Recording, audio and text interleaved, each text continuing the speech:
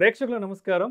ఫిబ్రవరి పది పదకొండు తేదీల్లో అంటే శనివారం ఆదివారం ప్రముఖ stock market analyst Sundararamareddy garu ETF index funds mutual funds మీద ఎడ్యుకేటివ్ వెబినార్ కండక్ట్ చేయబోతున్నారు. దీనికి మూడు వేల రూపాయలు ఫీజు పే చేయవలసి ఉంటుంది.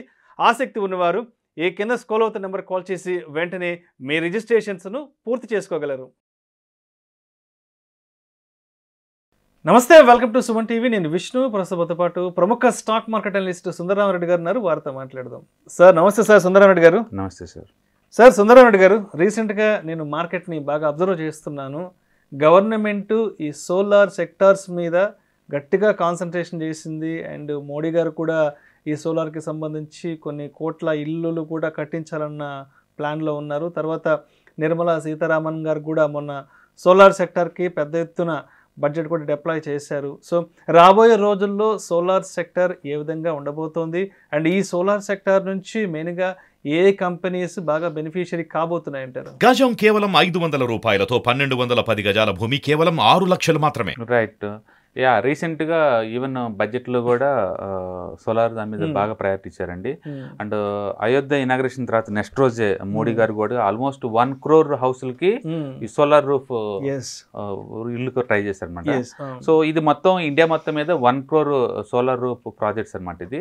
అంటే ప్రతి ఇంట్లో లిటరల్గా ఒక three hundred. Watts power generate చేసి సిటీలో చేసుకోవాలన్నట్టు అనమాట అందుకని ఇండియా మొత్తం మీద పెద్ద ఎత్తున ఈ. సోలార్ రూఫ్ ప్రాజెక్టులు లాంచ్ చేస్తున్నారు అనమాట సో ఇప్పటి వరకు ఏంటంటే ఎనర్జీ నీడ్స్కి ఇండియా ఎప్పుడు కూడా ఈ గల్ఫ్ రీజన్ మీద డిపెండ్ అవుతుంది. అండ్ ఇప్పుడు ఈ recent గా ఏంటంటే రష్యా నుంచి మనం ఆయిల్స్ ఇంపోర్ట్ చేసుకుంటున్నాం. బట్ ఈ రెడ్ సీ ఇష్యూస్ అని చెప్పేసి దీని వల్ల కూడా ఎంతో కొంత డిస్టర్బ్ అవుతుంది అనమాట అంటే బయట వాళ్ళ మీద డిపెండ్ అవుతే ఎప్పటికైనా. ఈ ప్రైస్ ఫ్లక్చుయేషన్స్ ఉంటాయి అండ్ సప్లైస్ అండ్ డిస్టర్బెన్సెస్ ఉంటాయి. అండ్ ఎప్పటికైనా రిస్క్ అని చెప్పేసి సొంతంగా ఆల్టర్నేటివ్ ఎనర్జీ మీద వీళ్ళు బాగా ఫోకస్ చేస్తుంది అనమాట అంటే పర్టికులర్గా మోడీ గారు పవర్లోకి వచ్చిన దగ్గర నుంచి చూసుకుంటే మనం విండ్ ఎనర్జీ కావచ్చు పవర్ Hmm. ఎనర్జీ కావచ్చు హైడ్రో ఎనర్జీ కావచ్చు చాలా ఎక్కువ ప్రొడ్యూస్ చేస్తున్నారు అనమాట అంతకుముందు ఇండియా గత థర్టీ ఫార్టీ ఇయర్స్ నుంచి ఎంత ప్రొడ్యూస్ చేస్తుందో ఈ సోలార్ మీద ఆ, మోడీ హయాంలో అంత అంతకంటే డబుల్ ట్రిపుల్ చేస్తున్నారు అనమాట ఊహించండి ఏసీలండి వన్ ఆఫ్ ది బిగ్గెస్ట్ ప్రాజెక్ట్ని అదాని వాళ్ళు గుజరాత్లో లాంచ్ చేస్తున్నారండి.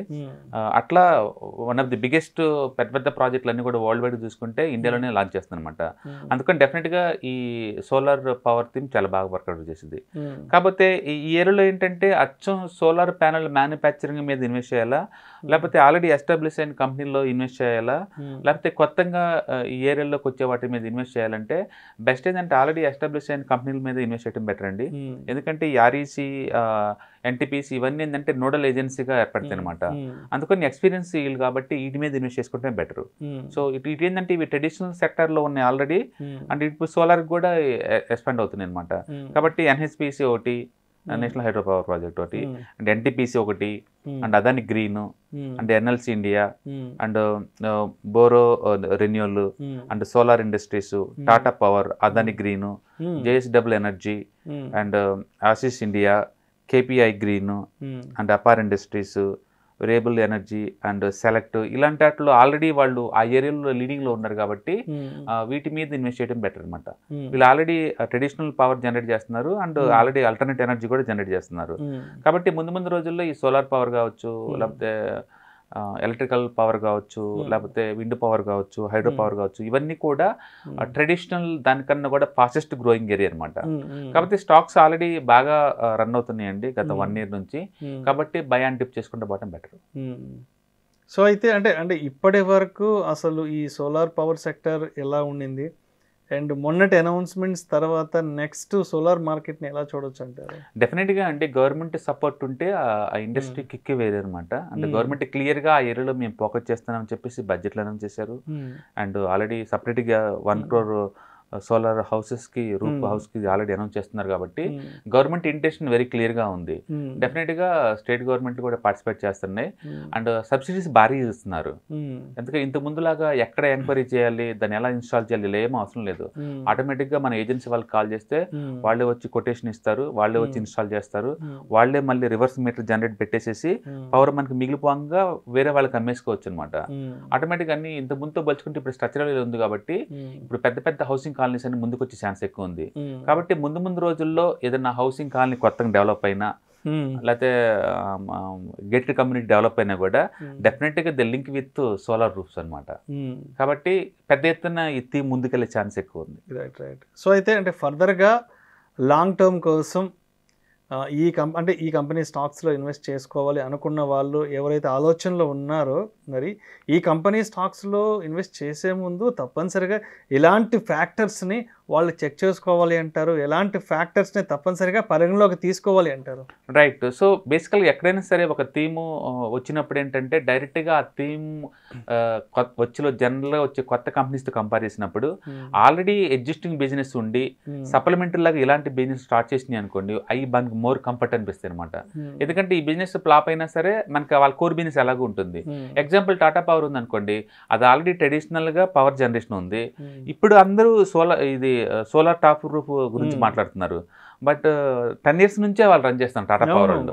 టాటా పవర్ సో వాళ్ళకి ఆల్రెడీ మార్కెట్ తెలుసు కస్టమర్స్ తెలుసు. ఎలా దాన్ని మార్కెటింగ్ చేయాలో తెలుసు. సో అలా అలాంటి వాటిని పట్టుకుంటే బెటర్ అనమాట సో టాటా. పవర్ లాంటి బై అండ్ డిప్ చేసుకోవచ్చు ఎన్టీపీసీని చేసుకోవచ్చు ఆర్ఈసీని చేసుకోవచ్చు నేషనల్ హైడ్రో పవర్ ప్రాజెక్ట్ చేసుకోవచ్చు అదాన్ని గ్రీన్ చేసుకోవచ్చు. వాళ్ళందరూ పెద్ద ఎత్తున దాన్ని స్కేలప్ చేస్తున్నారు. అందుకని చిన్న చిన్న పెనీ స్టాక్స్ కొత్తగా వచ్చిన వాళ్ళని వాళ్ళతో కంపేర్ చేసినప్పుడు ఈ ఎగ్జిస్టింగ్ స్టాక్స్ తీసుకోవటం బెటర్ అనమాట సో బై అండ్ డిప్ చేసుకోవచ్చు. మార్కెట్ అటాక్ ఈ సంవత్సరం కొంచెం మోర్ వాలటిలిటీ అవుతుంది. ఎందుకంటే ఈ చాలా కంట్రీస్లో ఎలక్షన్స్ జరుగుతున్నాయి. అంటే పక్కన చైనా టూ మచ్ డిస్టర్బ్ అవుతుంది. ఎంత డిస్టర్బ్ అంటే ఈ రోజు ఎయిట్ పర్సెంట్ డౌన్ ఉంది చైనా మార్కెట్ అందుకని డిస్టర్బెన్స్ చుట్టుపక్కల ఎక్కువ ఉన్నాయి కాబట్టి మార్కెట్లో ఎంత చక్కగా డిస్కౌంట్ నడుస్తుంటాయి అవి వచ్చినప్పుడు వీటిని మనం బై చేసుకోవటం ద్వారా లాంగ్ టర్మ్లో డెఫినెట్గా మనీ మేక్ చేసుకోవచ్చు. మొత్తానికి ఈ థీమ్ పర్మనెంట్ స్టే అనమాట అది అది ఇలా వచ్చి అలా పోయేది కాదు. ఎందుకంటే గవర్నమెంట్ చాలా సీరియస్గా ఎంకరేజ్ చేస్తుంది. సో అదేవిధంగా చార్ట్స్ పరంగా టెక్నికల్స్గా ఎలాంటి ఫ్యాక్టర్స్ని చెక్ చేసుకోవాలి? ఫర్దర్గా లాంగ్ టర్మ్ కోసం ఇన్వెస్ట్ చేసుకునే వాళ్ళు. డెఫినెట్గా అంటే ఇన్స్టిట్యూషనల్ సపోర్ట్ ఆల్రెడీ మనకు కనపడతా ఉంటుందండి. మీరు ఏదన్నా ఒక స్టాక్లో ఇన్వెస్ట్ చేయాలి అంటే పర్టికులర్గా మీరు లాంగ్ టర్మ్ ఇన్వెస్టర్ అయితేనేమో అండ్ దాని కోర్ పోర్ట్ఫోలియో అంటారు. అది దానికి పర్మనెంట్ ఉంచుకోవాలా ఈ సంవత్సరం మూవ్ అవ్వాలి ఈ సంవత్సరం మూవ్ అవ్వాలి? రూమే లేదు. కొన్ని Hmm. స్టాక్స్ ఏంటంటే ఒక్కోసారి ఒక ఫైవ్ ఇయర్స్ కూడా అసలు ఎలాంటి మూవ్ ఉండదు. బట్ స్టిల్ కంపెనీలో ఫండమెంటల్ చేంజ్ వచ్చి తప్ప మీరు ఆ స్టాక్స్ని అమ్ముకోవడానికి కుదరదు అనమాట Hmm. వాటిని మనం కోర్ పోర్ట్ఫోలియో అనుకోవచ్చు. రెండోది శాటిలైట్ పోర్ట్ఫోలియో అనమాట ఇదేంటంటే అప్పుడప్పుడు క్లోజ్ చేస్తూ ఉంటాం ఆన్ చేస్తూ ఉంటాం అనమాట ఏదైనా ఎర్నింగ్ విజిబిలిటీ బాగా పెరుగుతుంది అనుకోండి సపోజ్ ట్రెడిషనల్గా అది పవర్ డిస్ట్రిబ్యూటర్ అనుకోండి ఇప్పుడు వాళ్ళు కూడా ఈ రూఫ్ టాప్ సోలరైజేషన్లోకి ఎంటర్ అయ్యారు అనుకోండి ఎక్స్ట్రా ఇన్కమ్ జనరేట్ అవుతుంది కదా. అందుకని అలాంటి వాటికి ఏంటంటే రీడిఫైన్ చేస్తారు పిఈ రీడిఫైన్ చేస్తారు. అలాంటి వాటిలో ఇన్వెస్ట్ చేసాం అనుకోండి ఒక వన్ ఆర్ టూ ఇయర్స్ ఉంచుకోవచ్చు థీమ్ హార్ట్ అని చెప్పు. తర్వాత క్లోజ్ చేసుకుని బయటకు వెళ్ళిపోవచ్చు అనమాట. ఇది మూడోదేమో చార్ట్ ప్యాటర్న్ చూసి మనం ఎంటర్ అవుతాము. అది బ్రేక్అవుట్ అయినప్పుడు ఈ చార్ట్ ప్యాటర్న్ డెప్త్ ఎంత ఉందో అంత రాగానే క్లోజ్ చేసుకుంటాం అనమాట సో ఈ మూడు రకాలుగా మనం ఎంటర్ అవచ్చు అంటే మీరు లాంగ్ టర్మ్ ఉంచుకుంటారా? ఒక ఫైవ్ టు టెన్ ఇయర్స్. లేదా కేవలం వన్ ఆర్ టూ ఇయర్స్ ఉంచుకుంటారా? లేదా కపుల్ ఆఫ్ మంత్స్ ఉంచుకుంటారా? ఏంటి మీ ఆబ్జెక్ట్ అందాన్ని బట్టేసి మన చార్ట్స్ని అనలైజ్ చేసి మనం తీసుకోవచ్చు అనమాట ఇప్పుడు మనం చెప్పుకున్న ఈ చార్ట్స్ అన్నీ కూడా ఆ ఏరియాలో ఉన్న మంచి స్టాక్స్ అండి. అందులో మీకు నచ్చిన చార్ట్ ప్యాటర్న్స్ వచ్చినప్పుడు పిక్ చేసుకోవచ్చు.